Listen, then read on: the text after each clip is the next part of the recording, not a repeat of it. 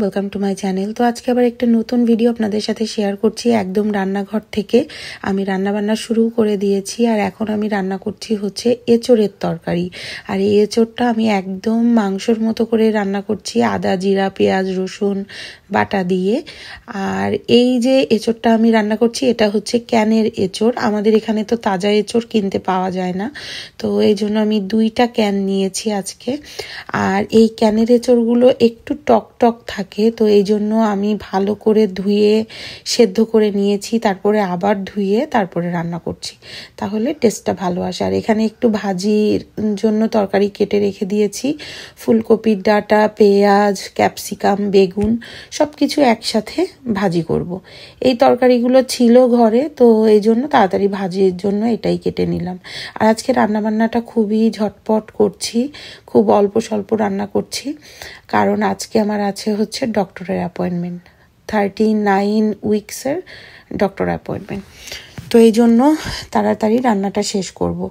রান্না শেষ করে ঘর বাড়ি সব ক্লিন করে পূজা দিব, তারপর মানে শাওয়ার করব, পূজা দিব, তারপরে আমি বের হব। অলরেডি একটা বেজে গিয়েছে। তো আমি বেরিয়ে পড়লাম আমার ডক্টরের অ্যাপয়েন্টমেন্টে আজকে হচ্ছে আমার লাস্ট ডক্টরের অ্যাপয়েন্টমেন্ট থার্টি নাইন উইক্সের ডক্টরের অ্যাপয়েন্টমেন্ট আর নেক্সট উইকেই তো আমার হচ্ছে ডিউ ডেট কিন্তু মনে হয় কয় তারিখে দিয়েছে? আর বোধহয় সাত তারিখে আমার অ্যাপয়েন্টমেন্ট আছে। মানে আফটার ডিউ ডেট দিয়ে রেখে দিয়েছে যদি বাই চান্স বেবি না হয়, কোনো একটা সমস্যা হয় ওই জন্য। চলুন, আমার দেরি হয়ে গেছে।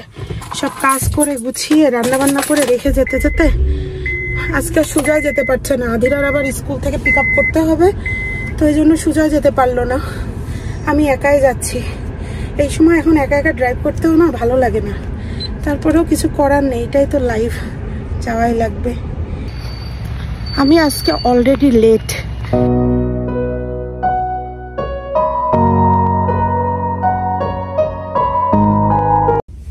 সবকিছু কমপ্লিট হয়ে গিয়েছে vital check up take up আজকে খুব একদম তাড়াতাড়ি, আসার সাথে সাথে তিন চার মিনিটের ভিতরে সব ডান হয়ে গেল। এখন বসে আছি ডক্টর আসবে, দেখবে, চলে যাব।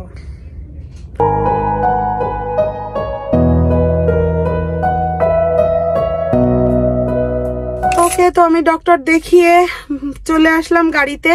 আর আমার আরও আরেকটা অ্যাপয়েন্টমেন্ট আছে, এটাই লাস্ট অ্যাপয়েন্টমেন্ট ছিল না। ডিউ ডেটের আগে ডিউ ডেটের আগে থার্টি ফার্স্ট আবার মানে নেক্সট ফ্রাইডেতে আরেকটা অ্যাপয়েন্টমেন্ট আছে। বাট এর পরেও যদি আমার বেবি না হয় আরও এক সপ্তাহ ওরা ওয়েট করবে। তো যাই হোক, যেদিনই হোক বেবি হবে। তো আমি, আমাকে আবার ডক্টর জিজ্ঞাসা করছে আজকে যে, তুমি কি ওয়েট করতে চাও কি চাও না? আগে থেকেই তুমি ইন্ডিউস করতে চাও। আমি না, আর এক সপ্তাহ ওয়েট করা লাগলে করতে, করলেও আমার কোনো সমস্যা নাই। কারণ বেবি তো আমার হাতে এসে পৌঁছাবেই বেবি তো আসবেই। ওয়েট করলেই বা সমস্যা কোথায়? তো এই তো অবস্থা। আর এখন আমি বাড়িতে যাব। আধিরাকে আর আমি পিক করতে যাচ্ছি না। কারণ এখন এখান থেকে যদি পিক করতে যেতাম, তাহলে আমার আবার তাড়াহুড়ো লেগে যেত। তা আমি আর এত তাড়াহুড়ো করে পাচ্ছি না। একটু গাড়িতে বসে নিঃশ্বাসটা নর্মাল করে তারপরে বাড়িতে ঢুকবো। আমাদের অনেকের মনে একটা প্রশ্ন থাকে যে প্রেগনেন্সি টাইমে ড্রাইভ করা সেফ কিনা। ইভেন আমাকে অনেকেই কোশ্চেন করে যে আমি ড্রাইভ করি কিনা, আমি একা একা বাইরে বের হই কিনা, এই জিনিসগুলো। এবং কেন আমি এখনও একা একা বাইরে বের হই, এগুলো তো আমার হাজব্যান্ডই করে দিতে পারে। এ ধরনের নানান কোশ্চেন আর এটা আমার কাছে বেশ ফানি মনে হয়। কারণ ড্রাইভিংটা খুব একটা খাটনির কাজ কিংবা কোনো ফিজিক্যাল কোনো কষ্টের কাজ না। এটা একটু কনসেন্ট্রেট করতে পারলে আর দক্ষতা থাকলে ইজিলি করা যায়। তো এই জন্য আমি কারও পরে ডিপেন্ডেন্ট না হয়ে নিজের কাজগুলো এখনও পর্যন্ত সমস্ত কিছু নিজেই করছি। আর ঠাকুরের ইচ্ছায় মোটামুটি আমি সুস্থও আছি। আর আমেরিকান যারা আছে, আমেরিকানরা কিন্তু সব সময় তারা হচ্ছে এই কাজগুলো নিজের কাজ নিজেই করে। ইভেন আমি অনেককেই দেখেছি প্রেগনেন্সির শেষ দিন পর্যন্ত মানে বেবি ডেলিভারির আগ পর্যন্ত তারা কাজ করে ড্রাইভ করে এবং নিজের সমস্ত কাজ তারা একাই করে। এবং তাদের ভেতরে আমি কোনো সমস্যা দেখিনি। এই জন্য আমার মনের ভেতরেও একটা জোর কাজ করে যে তারা যদি পারে, আমরা কেন পারব না? আমাদের বাঙালিদের ভেতরে অনেককেই দেখি, ইদানিং রিলস ভিডিও বানাই যে প্রেগনেন্সি থার্ড ট্রাইমিস্টারে আমি এখনও একা একা ড্রাইভ করছি। এই ধরনের রিলস ভিডিও এখন খুব দেখা যায়। বাট এটা এমন কোনো এক্সট্রা অর্ডিনারি কাজ আমার কাছে মনে হয় না। তো এই জন্য আপনাদের কাছে শেয়ার করলাম। আর আমার অলরেডি সাড়ে ছয় বছরের ড্রাইভিং এক্সপিরিয়েন্স আছে, আমি লাইসেন্স পেয়েছি।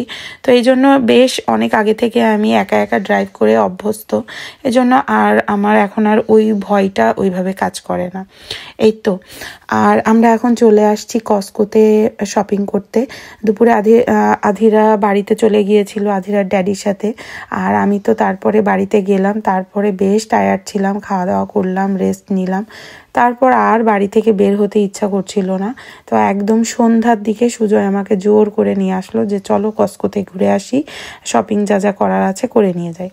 তো এই জন্যই আসছি। আর শপিং বলতে আজকে কস্কোতে যে আমার অনেক কিছু কেনার ছিল তা না। তো এই জন্য আমরা বেশ আজকে কস্কোটা এক্সপ্লোর করেছি, দেখেছি যে কোথায় কি সেল আছে, না আছে, কি কি পাওয়া যাচ্ছে। কারণ সামার টাইমটাতে কস্কোতে অনেক রকম জিনিস পাওয়া যায়। আর মেন যে কারণে আমরা গিয়েছিলাম কস্কোতে সেটা হচ্ছে বেবির ডাইপার কিনতে।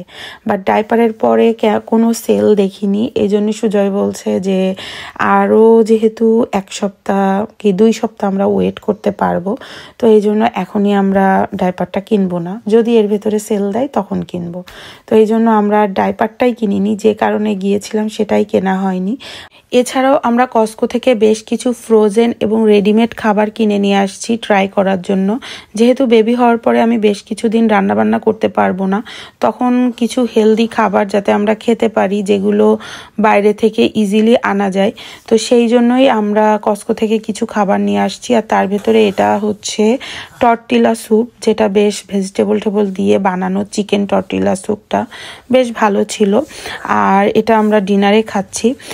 আর এর পরের দিন দুপুরবেলা আবার আমি একটু বাটার গার্লিক নান বানিয়েছি আর সাথে কসকোর চিকেন টিক্কা মশালা। তো চিকেন টিক্কা মশালাটাও খুবই ভালো ছিল, যেটা গার্লিক নানের সাথে খুব ভালো গিয়েছে। আর এই গার্লিক নানটা বানানো খুব ইজি আমি পিৎজার যে ডোটা বানানো হয় ইস্ট দিয়ে ইস্ট দিয়ে বানিয়ে শুকনো তাওয়াতে আমি আগে রুটিটা ফ্রাই করে নিয়ে উপরে একটু বাটার ব্রাশ করে দিয়েছি।